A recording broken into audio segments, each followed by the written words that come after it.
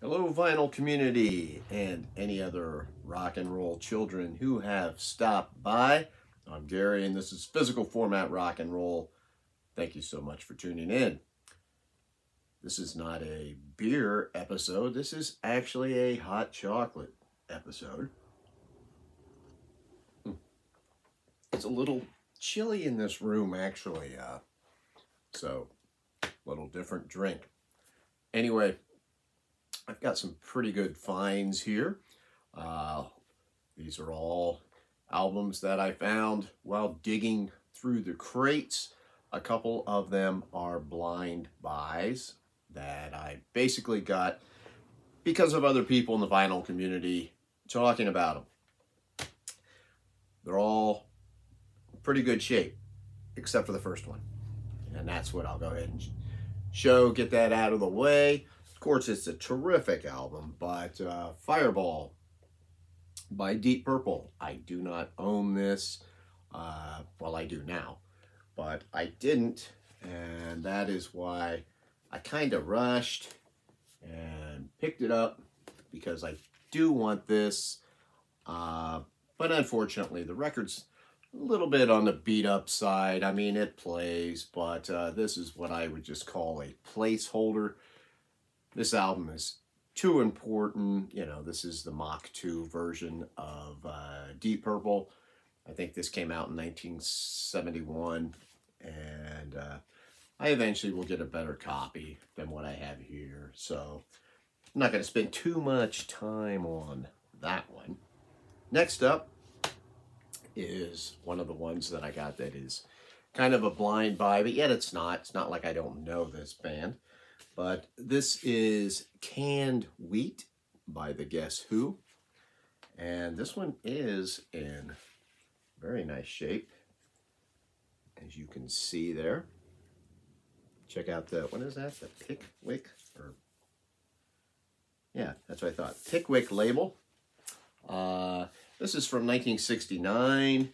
This is a 1979 pressing, though, I believe.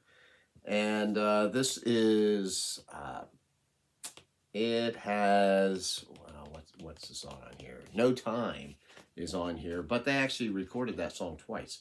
They re-recorded it uh, after this on for American Woman. It was on the backside of that. But it does have Laughing is also on here. But uh, my buddy Aaron Muth Alamere talks about this album. I know he really likes this band. There's several people in the vinyl community who like the Guess Who. So when I found this and it, it looks to be in excellent shape, it's kind of a no-brainer. I picked that one up. Next is a total blind buy, and that is Renaissance. I am getting, I'm not even sure how to pronounce that. Uh, I'm kind of ignorant on that. So I'm not going to attempt to uh, try to pronounce that, but uh, Renaissance, Chris Profi talked about this when we were uh, talking about female vocalists here on one of the episodes that we did on Jeff Witcher's uh, channel where we get together, uh, Josh and Aaron and Jeff and Chris and I, are different variations of us. Uh, but anyway, uh, we've also had Sam St. John on there recently because he goes on every channel. But uh, this is, this was released, you can see this is really good shape too. This was released in 75 and this is a 1977 pressing. Very different uh, style of album. This is progressive rock to an extent, although it's also, it's uh, a lot of it is just acoustic and piano driven. Uh, very different, still sinking my teeth into this. I will say it's interesting. I haven't made a final judgment on it. It's definitely an album I need to digest. Uh, Tony from Two from the Trunk said I need to listen to it at least four times. So I will not make any judgments yet on that. Next up, I think everybody has this one, right? From 1983, Metal Health by Quiet Riot. This has the distinction of being the very first uh, heavy metal album to go to number one on the Billboard charts. Of course, it has Come On, Feel the Noise uh, on here, the song Metal Health. But it's also got Slick Black, Cadillac, you know, Thunderbird. Uh, this definitely has some good stuff on here. This is a fine album. Uh, never going to be one of my all-time favorite albums or anything, but I felt like I had to own it, and this is in really good shape. I have seen this album various times, but every time I see it, you know, it just seems like it's always beat to hell. And, uh, you know, obviously, as you, as I told you, the Deep Purple, I still occasionally do that, but I'm trying not to. But you can see that. That's in really good shape. Uh, I've already played it. Plays great. Great sounding record. Uh, happy to own it. Metal Health by Quiet Riot. Couple more. I told you that I had some good finds in here. Next up, I just saw this on uh, JC.